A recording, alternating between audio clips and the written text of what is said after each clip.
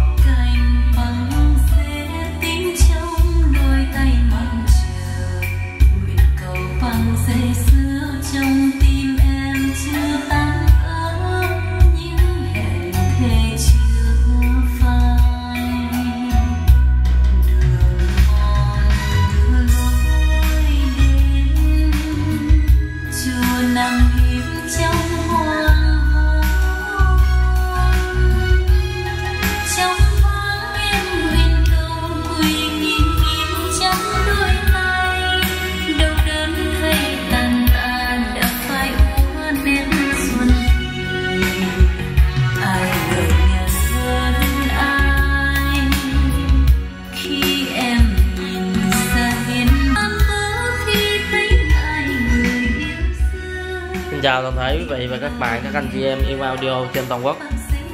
Quý vị đang theo dõi kênh test âm thanh của cửa hàng audio Bãi An Giang. Trước mắt quý vị và các bạn đây là đô la Pioneer CS 7001 sở hữu một bát 25 màn giấy gân mút, một chung giấy viền gân vải dầu và một cái chép digital ha. Dòng chép này thì nó đã quá nổi tiếng về cái chất âm của em đó thì đô loa này em cũng đã có giới thiệu hôm trước một cái clip giới thiệu chi tiết về em nó rồi. Loa trong tình trạng rất là đẹp nha quý vị đẹp xuất sắc. Thành quất góc cạnh là vuông thành sát cạnh nha quý vị. Nếu xuất sắc thì nói xuất sắc thì nó hơi quá mà thì mà nó đẹp bình thường thì nó cũng không có đủ cái độ của nó nha. Quý vị xem nè. Rất là đẹp nha. Thì uh, đô la này à, vậy đẹp lắm. Rất đẹp nha. Thì đô la này hôm nay bên em uh, sẽ bán cho quý vị giá chỉ 5 triệu chín thôi nha quý vị. Riêng ngày hôm nay thôi. 5 triệu chín. Qua ngày hôm nay thì à, sẽ về giá cũ 6 triệu 2 nha.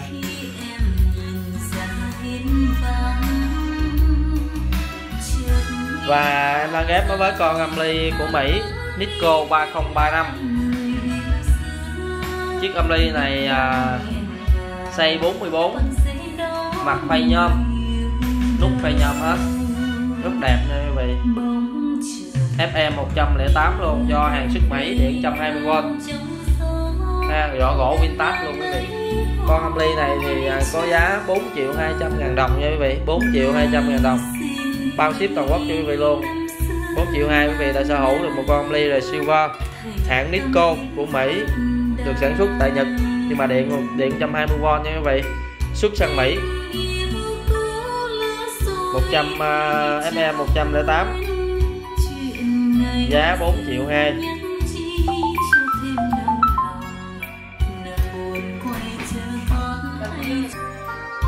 thì uh, cam ly này rất là đẹp nha quý vị.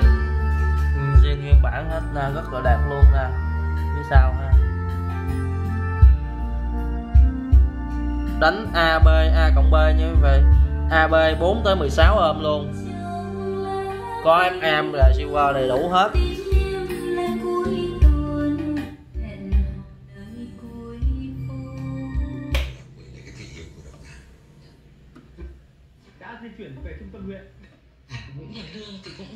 Khá là đài bắt căng nét luôn, vì phải nói là những con ly khác sống nó bắt được chưa như con này FM nè.